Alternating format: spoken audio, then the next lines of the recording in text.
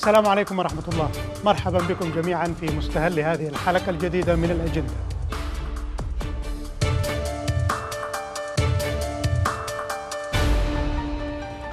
في أجندة هذا الأسبوع الطائفية والاستعمار في معركة واحدة. الإماميون استدعاء التاريخ للتنكيل بالحاضر.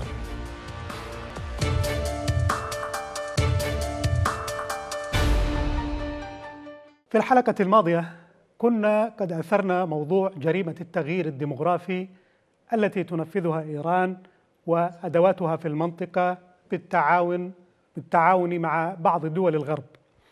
وذلك لتمكين إيران من وضع يدها على المنطقة العربية كما تقتضي خطة الشرق الأوسط الجديد التي تحدثنا عنها مرارا في هذا البرنامج.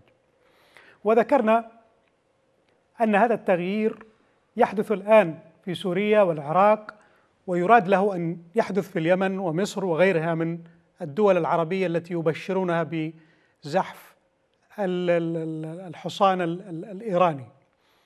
وفي نفس اليوم الذي كنا نتحدث فيه إليكم عن هذه القضية كان نور المالكي رئيس الوزراء العراقي السابق يبشرنا من بغداد بأن معركته الطائفية لن تتوقف عند الموصل في العراق بل ستمتد لتصل إلى اليمن وغيرها من البلاد العربية. وخلال الأسبوع الذي مضى بعد الحلقة الماضية كانت الشواهد الدالة على صحة رؤيتنا في أسباب الصراع ودوافعه في المنطقة كانت هذه الشواهد تتوالى خلال الأسبوع الماضي من هنا وهناك. فرأينا أن من المناسب أن نتوقف عند الأبعاد التي تحملها كلمات المالكي المشار إليها وإلى الشواهد الجديدة على صحه ما ذهبنا إليه من وجود مؤامرة على الكيان العربي والكتلة السنية في الوطن العربي تحديدا. وهذا هو موضوع موضوع حديثنا في المحور الأول من هذه الحلقة. أما المحور الثاني فسنخصصه للحديث عن إعادة تدوير التاريخ وإعادة توظيفه في اللعبة السياسية القذره وتحويله من مادة للنهوض إلى مادة للصراع وإثارة الضغائن والأحقاد والانقسام الاجتماعي. يأتي هذا طبعا بمناسبة المناسبات التاريخية المتكررة التي يبعثها الإماميون في صنعاء لتحويلها إلى منصات سياسية بطريقة انتهازية مكشوفة. كان آخرها مناسبة مناسبة سموها مناسبة ذكرى وفاة زيد بن علي بن الحسين التي احتفل بها الحوثيون في صنعاء قبل أيام وألقى فيها زعيمهم الشاب خطابا شائبا عتيقا كخطابات القرن الرابع الهجري. حاول فيه استعادة الأحقاد التاريخية بين تلك الأمم أو بين الأمم الخالية. من أجل توظيف هذه الصراعات في صراعه هو من أجل الحصول على السلطة. هذا هو موضوع المحور الثاني كما قلت.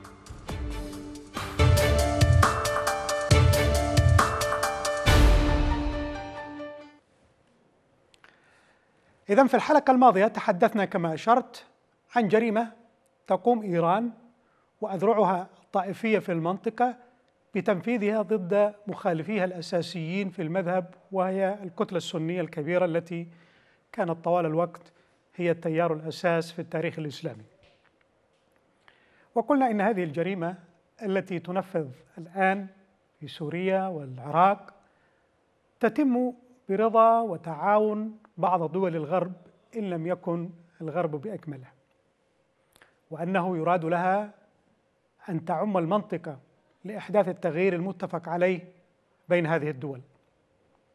في نفس اليوم الذي كنا نتحدث فيه بهذا الكلام كان رئيس الوزراء العراقي نور المالكي يتوعد أو يبشر بالتفرغ لمعركة اليمن بعد معركة الموصل وحلب. جاء هذا في كلمته التي ألقاها في مؤتمر ما يسمى بالصحوة الإسلامية الذي انعقد ببغداد السبت الماضي. وهي الكلمة التي فاحت منها نزعة المالك الطائفية التي يحاول عادة إخفاءها بجهد جهيد احتراما ربما لضيوفه في القاعة من أصحاب المذاهب الأخرى الذين حضروا والذين من الممكن أن يستمعوا إليه خارج المؤتمر. إلا أن الطائفية الطائفية كالزكام لا يمكن إخفاؤها. وقد بدت طائفية المالكي من فتات فلتات لسانه وتناقضاته.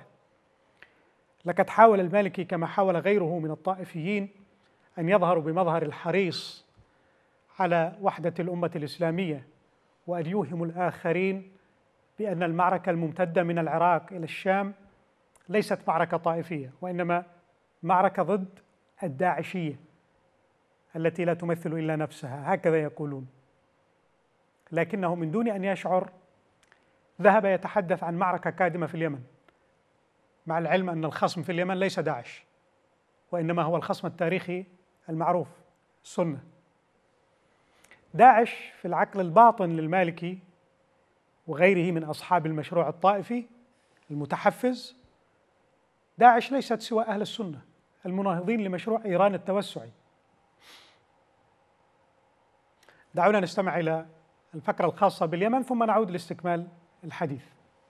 لكن أنا أقول بصراحة بعد كل الدماء التي سفكت بعد كل الجهود التي كانت أنا أرى على مستوى مواجهة هؤلاء الإرهابيين أن عمليات قادمون يا نينوى تعني في وجهها الآخر قادمون يا رقة قادمون يا حلب قادمون يا يمن قادمون في كل المناطق التي يقاتل فيها المسلمون. الذين يريدون الارتداد على الفكر الإسلامي. إذا معركة المالكي وبقية أذرع الأخطبوط الإيراني ليست معركة مع داعش لأنها لو كانت معركة مع داعش لما ذكر اليمن. معركة اليمن واضحة هي معركة اليمنيين الأحرار ضد الانقلابيين. معركة الجمهورية ضد الملكية والإمامة. معركة يشترك فيها إلى جوار الإصلاحي المؤتمري والاشتراكي والقومي واليمني البسيط الذي لا يعرف الأيديولوجيا ولا الأحزاب. فهل هؤلاء دواعش لدى المالكي حتى يبشر بالحرب عليهم؟ هل عبد الكريم الإرياني وياسين سعيد نعمان وعبد الملك المخلافي وغيرهم عشرات من القيادات السياسية اليمنية دواعش هذا ليس التناقض الوحيد الذي كشف حقيقة ما يعتقده المالكي ويخبئه تقية. فقد جاء في حديثه العديد من التناقضات والكواشف. منها عندما تحدث عن أسباب الحرب في المنطقة فقد جاء في كلامه إنما نحارب لأننا أطلقنا الصحوة الإسلامية. وظاهر هذا الكلام أنه يقصد الصحوة الإسلامية كلها على مستوى الأمة الإسلامية كلها. لكنه فسر مقصته مباشرة فقال فمنذ انتصار الثورة الإسلامية أي ثورة الخميني أصبح لدينا دولة ودول وأحزاب وحركات ومؤسسات وحوازات تنشر الصورة الحقيقية للإسلام في مقابل الصورة المشوهة التي ينقلها أعداء الإسلام. نستمع إلى المقطع ثم نعود للتعقيب. لم تكن هذه ردة الفعل على لا شيء قد تحقق عندنا. لذلك يجب أن نفتخر إنما نحارب لأننا قد أطلقنا الصحوة الإسلامية. فمنذ انتصار الثورة الإسلامية أصبحت لدينا دولة ودول وأحزاب وحركات ومؤسسات وحوزات إسلامية منتشرة في كل العالم تدعو إلى الوعي وإلى الصحوة وإلى عوض الإسلام الحقيقي بصورته النقية الطاهرة في قبال الصورة المشوهة التي رسمها أعداء الإسلام. طبعا ليس من شأننا أن نقارن بين الصورة التي يقدمها مذهب المالكي وللإسلام الصورة التي يقدمها للإسلام ومقارنتها بالصورة التي تقدمها المذاهب الأخرى لأننا كما قلت نحاول هنا تحليل الخطاب لا الرد عليه. لكن من واجبنا أن نتوقف أمام عبارة أو أمام عبارته هذه التي قد تبدو للوهلة الأولى عادية حين يقول إن مدار المعركة هي بين من يقدم صورة جيدة للإسلام ومن يقدم صورة مشوهة له. هذه عبارة خطيرة لأنها تعني أن معركة الأخطبوط الإيراني ليست مع أمريكا كما يقول الحوثي وكما قالت من قبل إيران ولا مع إسرائيل كما يقولون جميعا حتى الموت حتى اليوم. بل هي معركة مع مسلمين يخالفونهم في الرأي. ومن حق الناس أن يتساءلوا طبعا هل يجيز الإسلام محاربة المخالفين لمجرد أنهم يطبقون الدين تطبيقا خاطئا أو يشوهونه؟ هل تجب محاربة المنافقين كما يسميهم البعض لمجرد أنهم منافقين؟ هذه التناقضات في بنية الخطاب تكشف عن حقيقة الكامن خلف الخطاب. ومع هذا فإن المالكي لا ينسى أن يذر الرماد على العيون في خطابه ويتحدث عن المقاومة ومشروع أو محور المقاومة للمشروع الصهيوني. دون أن يشعر بأي حرج أو تناقض وهو يقاتل تحت ظل الطائرات الأمريكية منذ أكثر من 13 سنة. يتحدث عن مقاومة المشروع الصهيوني مع أن الصهاينة الأمريكان تحديدا هم الذين جاءوا به ليحكم العراق. يقاوم المشروع الصهيوني لأنه محتل في حين أنه يعيش تحت سلطة الاحتلال الأمريكي للعراق من سنوات ويسلم سوريا الآن للاحتلال الروسي. تلك تناقضات تكشف عن أن هدف المشروع الإيراني ليس مقاومة المشروع الصهيوني كما يقولون بل مشروع التوسع المذهبي والسياسي لإيران والطائفية الشيعية هو الذي يحدث هو الذي يجري الآن.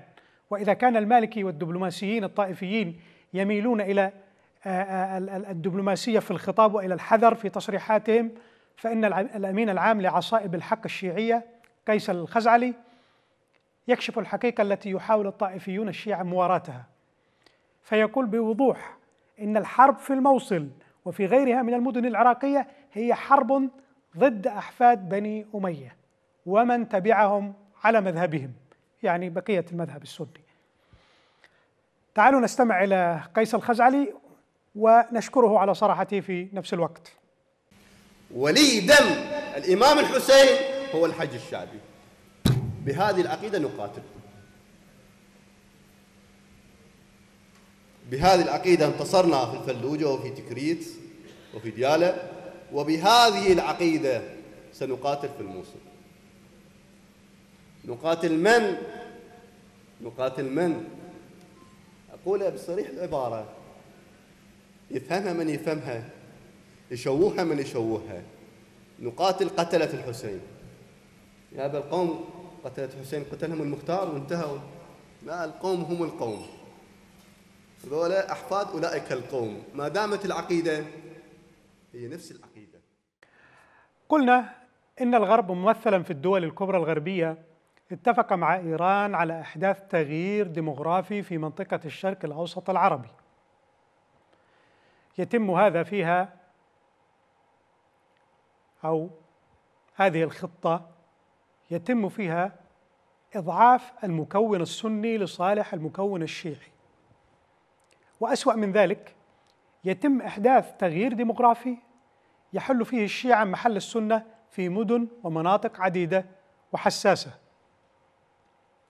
وكان دليلنا على هذا الكلام هو الواقع نفسه الواقع الواقع في العراق وفي سوريا وفي غيرها. خلال السنوات الماضية الواقع الذي ما زال مستمرا حتى الآن. لكن ليس الواقع فقط هو الذي يشهد على ذلك.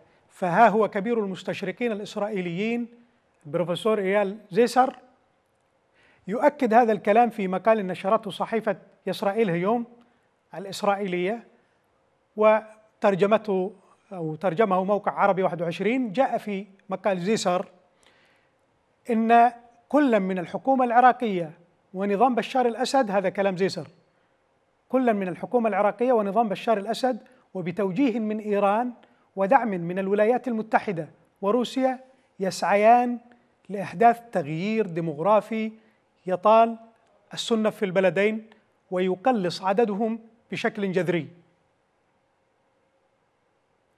وأوضح سيزر أن العمليات العسكرية التي يخطط لها المحور الشيعي في كل من سوريا والعراق تهدف إلى طرد السنة أو أكبر عدد منهم في منطقة الهلال الخصيب. لا سيما المناطق التي تقع على ضفاف نهري الفرات ودجله والمناطق الساحلية من سوريا. وهو أيضا ما أكده كبير محرري صحيفة وول ستريت جورنال لشؤون الشرق الأوسط الصحيفة الأمريكية المعروفة والكاتب الكاتب الكبير جاي سولومون أصدر كتابا حديثا حسب ما أوردت صحيفة الشرق الأوسط عنوانه حروب إيران. قضى في تأليفه كما يقول عشر سنوات. الكتاب آه، آه، آه، مرشح لجائزة بوليتزر هذا الكتاب جاء فيه بتفاصيل يقول إنها سرية. من لقاءات ورسائل بين المفاوضين الأمريكان والمفاوضين الإيرانيين الذين كانوا يلتقون سرا في سلطنة عمان. ووصف هذه اللقاءات بالصفقات السرية التي أعادت رسم الشرق الأوسط. ويرى سولومون في الحوار الذي أجرته معه الشرق الأوسط يرى أو يروي بالأصح يروي الوعد الذي قطعه الرئيس أوباما للمرشد الأعلى الإيراني آية الله خامنئي. قال فيه لو حصلنا على الاتفاق النووي يمكننا التعاون في في محاربة داعش ولن نستهدف نظام الأسد. طبعا نحن نستطيع أن نستنبط أيضا ولن نستهدف الحوثيين لأنه كله طاقم واحد. وطبعا داعش كما ذكرنا هو الاسم الحركي للمكون السني نفسه في نهاية المطاف.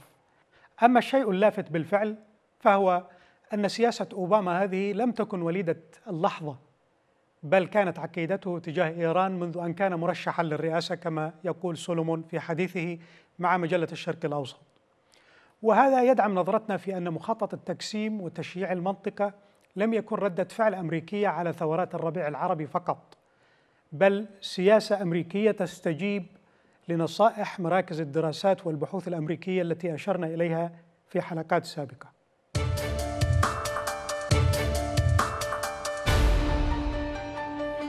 مشاهدينا الكرام سنذهب إلى فاصل قصير ثم نعود بعده لمواصلة الحديث في الملف الثاني، لا تذهبوا بعيدا. مرحبا بكم مجددا تحدثنا مرارا عن طبيعة الخطاب السياسي الذي تتبناه الإمامة وقلنا إنه خطاب انتهازي يوظف عناصر دينية وعناصر شبه دينية يعني تاريخية يحولها إلى دين للتأثير على المخاطبين واصطيادهم لصالح المشروع السياسي ذي الطابع الطابع السلالي. وقمنا في حلقات ماضية بتحليل بعض مكونات هذا الخطاب. في هذه الحلقة سنتوقف قليلا عند نموذج عابر للخطاب الإمامي هو حديث زعيم الحوثيين الشاب عبد الملك الحوثي الذي ألقاه على أتباعه بمناسبة ذكرى استشهاد زيد بن علي بن الحسين في بداية القرن الثاني الهجري. وهو الخطاب الذي ظهرت فيه النزعة المذهبية للرجل على غرار ما ظهر عند سلفه المالكي قبل قليل. لقد استنجد عبد الملك كما هي عادة الإماميين بالتاريخ لمساعدته على الانتقام من خصومه السياسيين الذين يقفون حجر عثرة بينه وبين الرئاسة والملك. استدعى بني أمية ليلعن آل سعود واستدعى معركة الكوفة واستشهاد زيد بن علي ليبرر معركة السوق السوداء والبنك المركزي ومعركة الكوليرا التي تهدد ما تبقى من اليمنيين.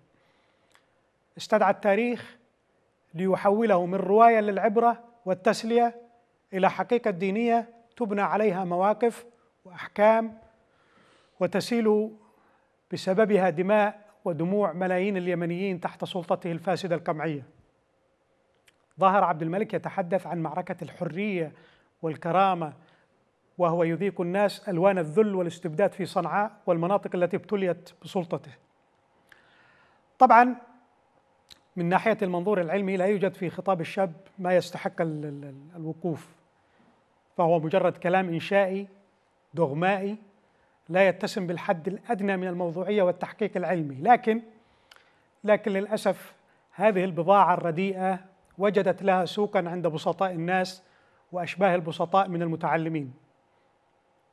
وليست هنا المشكلة بالطبع وإنما المشكلة في أن هذه البضاعة القديمة الميتة المميتة تتغذى عليها بعض العقول التي وقعت ضحية لوحش الجهل القاتل خلال فترة حكم علي صالح. الفترة التي تراجع فيها العلم والعقل إلى حدود مخيفة. كان أبرز مظاهر هذه التراجع خروج الميليشيا الإمامية وعودة الأمراض الوبائية التي عرفت قبل الجمهورية. يعني الحوثي الحركة الحوثية هي حالة إدانة لنظام علي عبد الله صالح. بعد خمسين سنة بعد بعد ثلاث عقود أو أكثر من الحكم في ظل عهده البائس خرجت خرجنا بمجتمع إمامي ارتد على عقبه سنتوقف أمام بعض العبارات التي وردت في خطاب زعيم الحوثيين ونسلط عليها بعض الضوء لكشف حقيقتها الطائفية ونزعتها الإقصائية المريضة.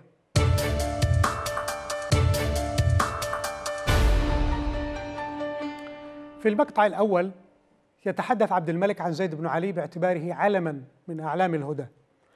ومصطلح أعلام الهدى هذا مصطلح إمامي معروف في أدبيات الإماميين المعاصرين له دلالة سلاليه عندهم. الذي عرف ملازم حسين الحوثي يلحظ وجود ثلاثة ألفاظ لها معاني سلالية خطيرة. هي لفظ الاصطفاء، العلم، الآية. كلمة الاصطفاء تشير إلى نظرية الاصطفاء السلالي التي يؤمن بها الإماميون ويرتبون عليها حقوقا سياسية ومالية واجتماعية. وخلاصة هذه النظرية أن الله اصطفى من البشر سلالة وأوكل إليها شؤون الناس والدين. ثم اصطفى من هذه السلالة اشخاصا هم بمثابة أعلام الهدى. أعلام للهداية يعني. ومن هذا المفهوم الثاني جاءت كلمة العلم في أحاديث الحوثيين. وكان لديه لدى حسين شعور قوي بأنه أحد هؤلاء الأعلام في هذه السلالة.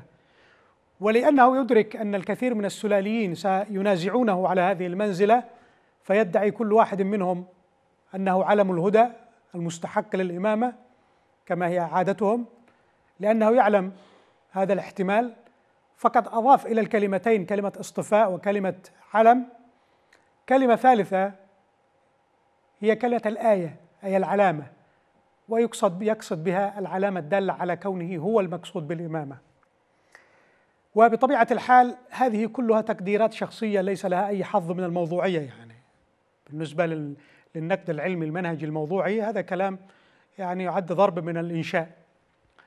ثم حاول عبد الملك في كلمته أن يبرر لاحتفالهم بمناسبة ذكرى استشهاد زيد بن علي فقال إن عادة الأمم قد جرت بأن تحتفل الأمم بعظمائها عظمائها الذين حققوا نهضتها وتركوا فيها اثارا خالدة. طبعا الصيغة هذا الكلام من عندنا وقال كلام شبيه بهذا. السؤال الذي قد يطرح أي متابع وأي دارس للتاريخ على عبد الملك الحوثي هو ما هي هذه النهضة التي تركها زيد بن علي في حياة المسلمين؟ ما الذي أنجزه على المستوى العلمي أو على المستوى العمراني أو على المستوى السياسي أو على أي مستوى من المستويات حتى يكون له هذا التأثير كما قلت هل لديه هو أو غيره من رموز الخطاب السياسي الإمامي أي ميزة على شخصيات عصره هذه أسئلة قد تطرح عليهم يعني أين هي؟ أين هذه الميزات؟ اكشفوها للدارسين لأن ما نعرفه عنها يجعلها تقف في صف طويل يعني الشخصيات هذه الإمامية اللي هي الرموز الإمامية ما نعرفه عنها. يجعلها مثلها مثل أي شخصيات أخرى في التاريخ الإسلامي تقف في نفس الصف لا تختلف عنهم في شيء.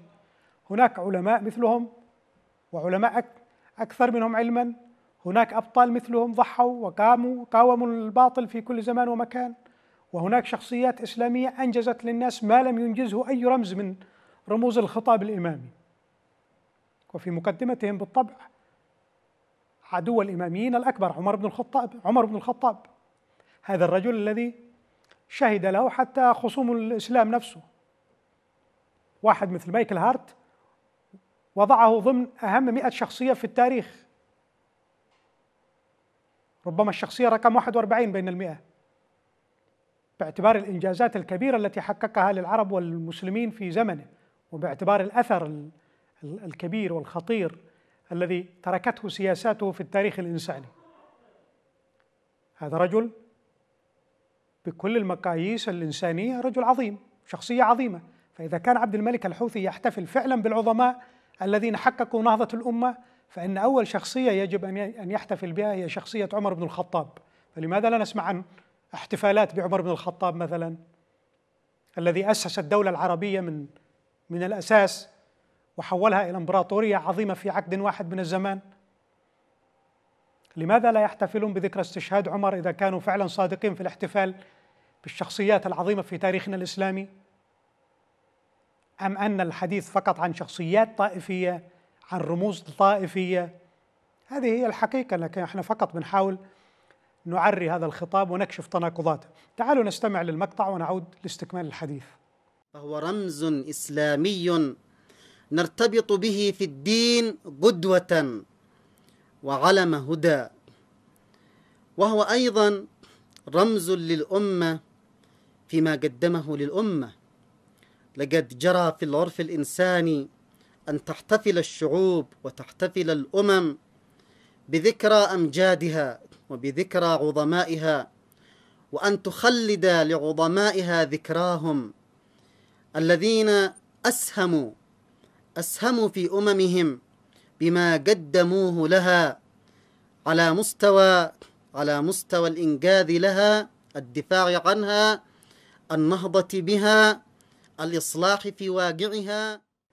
في هذا الخطاب استدعى عبد الملك الصراع التاريخي بين أجداده وبين الأمويين إذا كانوا أجداده استدعاه بصورة مركزة وكاريكاتورية. فقد بدا الامويون في خطاب عبد الملك وكأنهم النقيض الرسمي للإسلام. والأمويون هنا هم بمثابة قناع رمزي لكل خصوم المشروع الإمامي في كل زمان ومكان. يعني لما يتكلم عن الأمويين هو بيتكلم عن ناس موجودين الآن. لكن بيوظف الصراع القديم لإسقاطه على الصراع الجديد. الحديث عن الأمويين هو حديث مقنع عن آل سعود والإصلاحيين والوهابيين وغيرهم من الخصوم السياسيين والمذهبيين.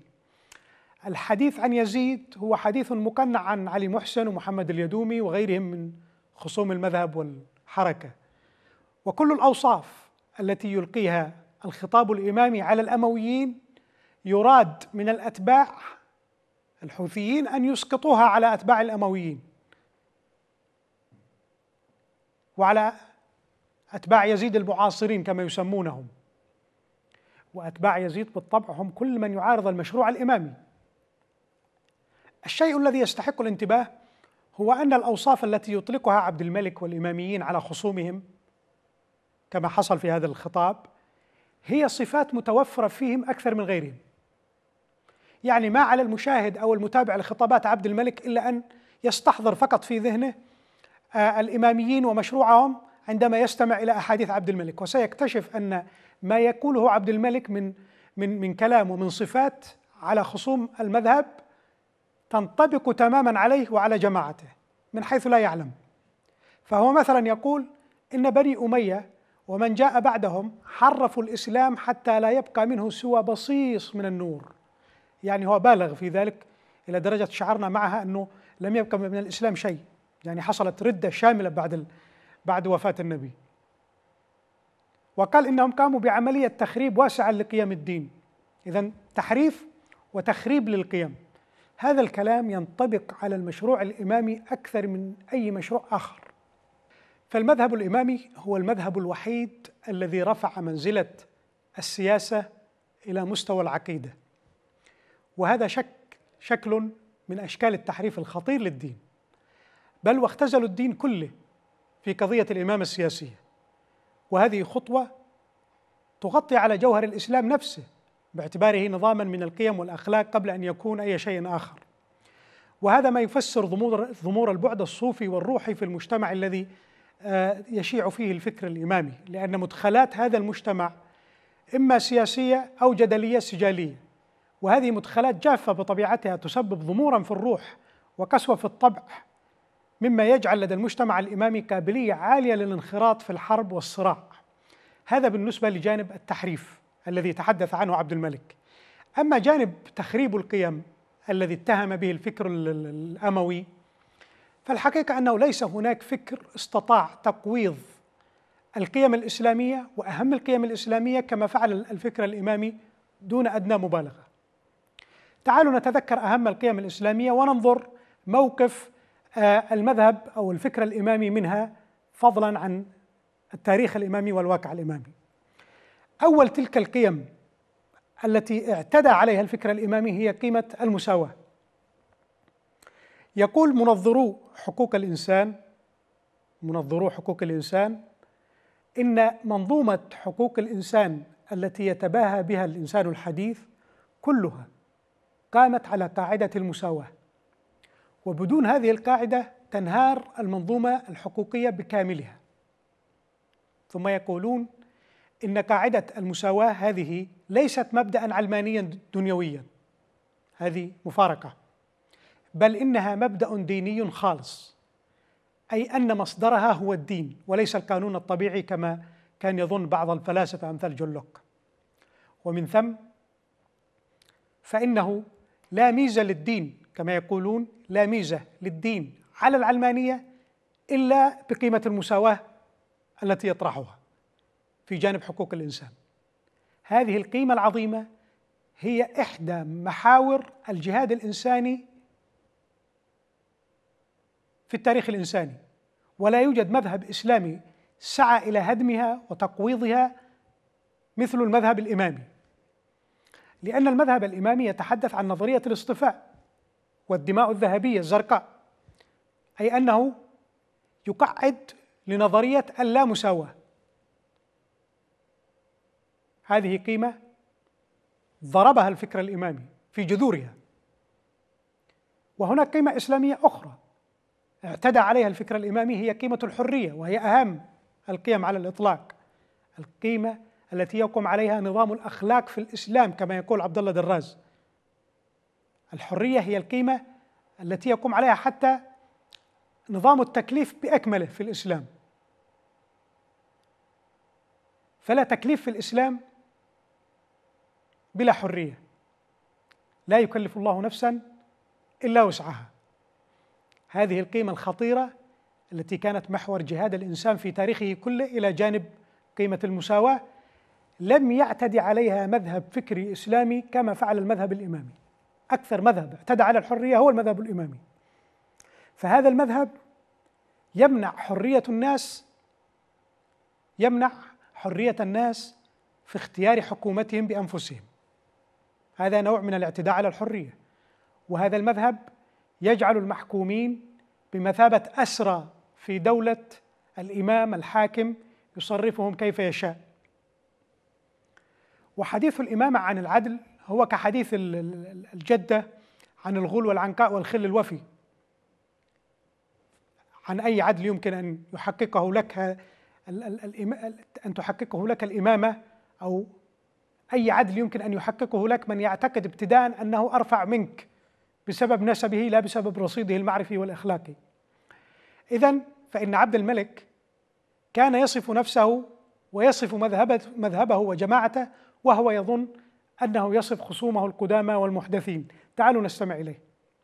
التسلط الأموي استهدف الأمة بكلها منذ بدايته منذ يومه الأول واستهدفها في المبادئ لأنه كان يرى أنه لا يستطيع أن يتحكم بالأمة أن يسيطر عليها إلا بعد أن يهدم فيها المبادئ وأن يهدف أن يهدم منها القيم والأخلاق.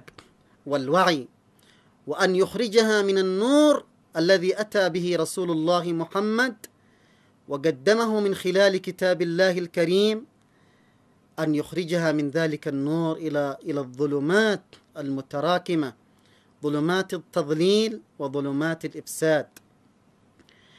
الرسول صلوات الله عليه وعلى آله كان قد قدم إنذارا مبكرا للأمة بخطورة هذا التسلط الأموي وهذا الدور الهدام لبني أمية. أخيرا سنتوقف أمام عبارة طريفة قالها عبد الملك في خطابه الأخير. ذكر فيها أن الأمويين قد حرفوا الدين حتى أصحاب حتى أن أصحابهم أي السنيين قد تحولوا إلى وحوش ضارية تستجيب لما يقال لها. فتفعل أي شيء يخالف مبادئ يخالف مبادئ الدين. هذا كلام عبد الملك عن الأمويين. تكمن طرافة هذا الوصف في أنه يذكرك فورا بالحوثيين. فلم يشهد التاريخ الحديث جماعة متوحشة كجماعة الحوثي. ولم يشهد جماعة دغمائية تستجيب لقائدها استجابة الميت لمغسله كما يفعل الحوثيون. وهذه الصورة طبعا واضحة لدى اليمنيين. لم تعد بحاجة إلى تأكيد وضرب أمثال. اليمنيون جميعا يلاحظونها. أي أن عبد الملك يصف مرة أخرى يصف نفسه ويصف جماعته ويصف مشروعه من حيث لا يدري. تعالوا نستمع إلى عبد الملك ونتأمل كيف يصف هذه الجماعة من حيث لا يدري. هكذا عملوا وكان لهذا تأثير كبير. تأثير كبير في مستقبل الأمة في مواقف الأمة. ولذلك وصلوا إلى درجة التعطيل الفعلي للمشروع الإسلامي في الحياة. فعطلوه من أثره العظيم والسامي في الإنسان. فرأينا كيف صنعوا في الإنسان. رأينا الإنسان الذي تأثر بهم الذي اجتنع لهم الذي التف حولهم الذي آمن بهم ونهج نهجهم. كيف صار إنسانا متوحشا ظلاميا مفسدا ومتكبرا ومتوحشا خاليا من كل المشاعر الإنسانية. لا رحمة لديه. جاهزا لأن يعمل من أجلهم أي شيء وأن يتصرف أي تصرف. وبذلك استطاعوا أن يفعلوا أشياء كثيرة ما كانت لتفعل. في بيئة إسلامية بقيت سليمة. بهذا نكون قد وصلنا إلى ختام هذه الحلقة. أعزائي المشاهدين نلقاكم في الأسبوع القادم. في أمان الله وحفظه.